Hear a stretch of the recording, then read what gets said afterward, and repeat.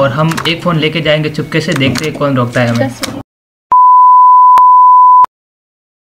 इसके ऊपर photo video नहीं करना।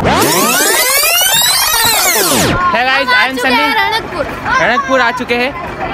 और और ये देखो बहुत अच्छा नज़ारा है। बहुत अच्छा लग रहा है। तो दोस्तों यह मंदिर राजस्थान राज्य के पाली ज़िले में अरावली पर्वत की घाटियों के मध्य स्थित रणकपुर में ऋषभदेव का चतुर्मुखी जैन मंदिर है और इस भव्य मंदिर के चारों तरफ़ घना जंगल है। भारत के सभी जैन मंदिरों में से इसकी इमारत सबसे भव्य तथा विशाल है। तो दोस्तों यह मंदिर हम जाने के लिए यहाँ से रास्ता जा रहा है आगे की तरफ़ और चलो पूछते हैं हमारे दोस्तों से कि इनका क्या कहना है। सो गाइस अभी हम आ चुके हैं क्या मंदिर है? इस मंदिर का क्या नाम है? रणकपुर ये बहुत ही प्राचीन मंदिर है मदर चौथ। हाँ मेरे रणकपुर आ चुके हैं और यहाँ पर सो गाइस जो कुत्ते के लड़ लड़ रहे क्योंकि पुलिस वाले हमें बिना मास्क के नहीं जाने दे रहे तो हमें अभी मास्क लेके आएगा। हेलो गाइस तो हम आ चुके हैं रनकपुर के प्राचीन मंदिर में और आप सब मिलिए हमसे और हम आपको लाइक देंगे। सॉरी आप हमें लाइक दो हम मिलते हैं आपसे।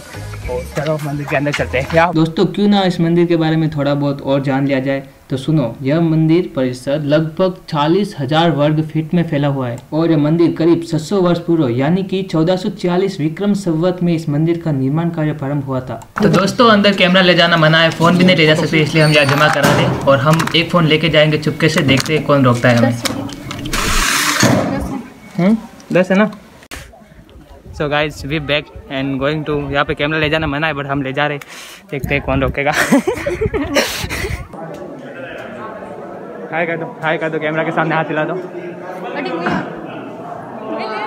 हाय कर दो कैमरा के सामने हाथ हिला दो। और अभी तो रुको क्लाइमैक्स अभी बाकी है।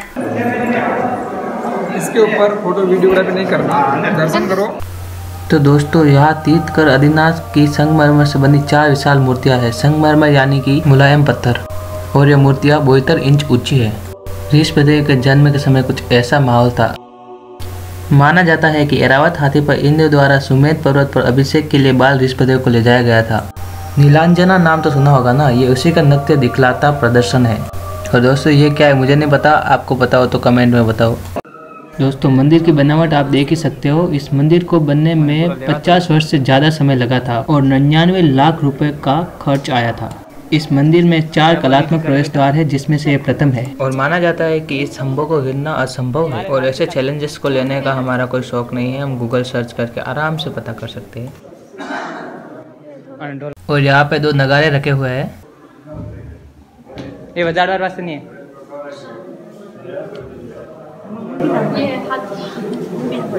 कौन? ये हाथी है मेरे को नहीं दिख रहा। दोस्तों इस मंदिर में 76 यानी कि छिहत्तर छोटे बड़े पवित्र स्थल चार प्रार्थना कक्ष और चार बड़े पूजन स्थल है। तो नज़ारा दिखाते हैं। तो दोस्तों ये सेकंड प्रवेश द्वार है देख लो आराम से। सो गाइस बहुत कूल कूल है। ये बंदरिया कौन है? गाइस वहाँ पे कुछ यहाँ पे इतने सारे मंदिर। यहाँ पे गाइस बहुत सारे मंदिर है।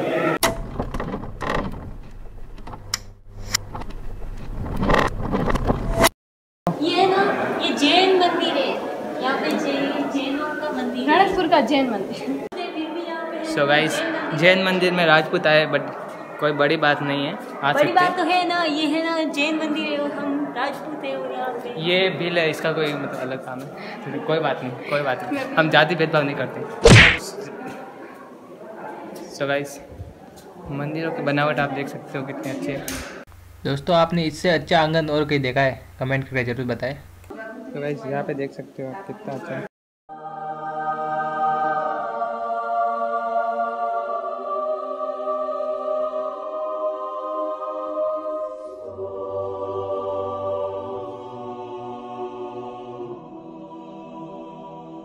सारे मंदिर एक जैसे। हम्म?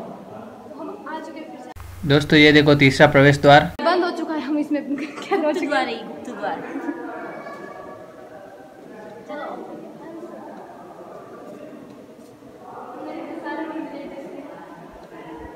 टच मत कर जे।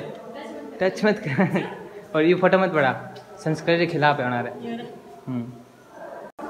सो गाइस मंदिर का मैप शायद ये श्री जम्बूदीप बोल सकते हो गया न न न नंदीश्वर नंदीश्वर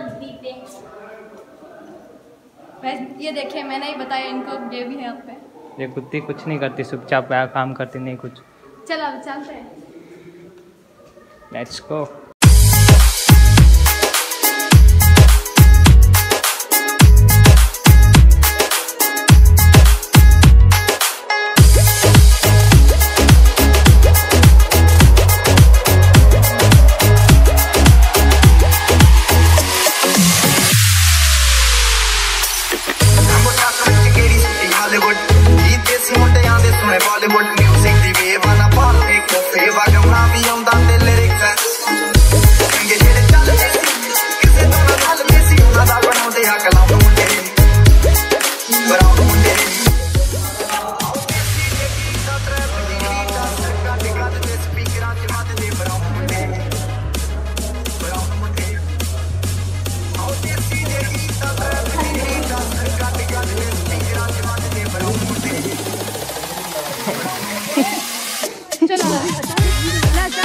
हाँ बोल बे।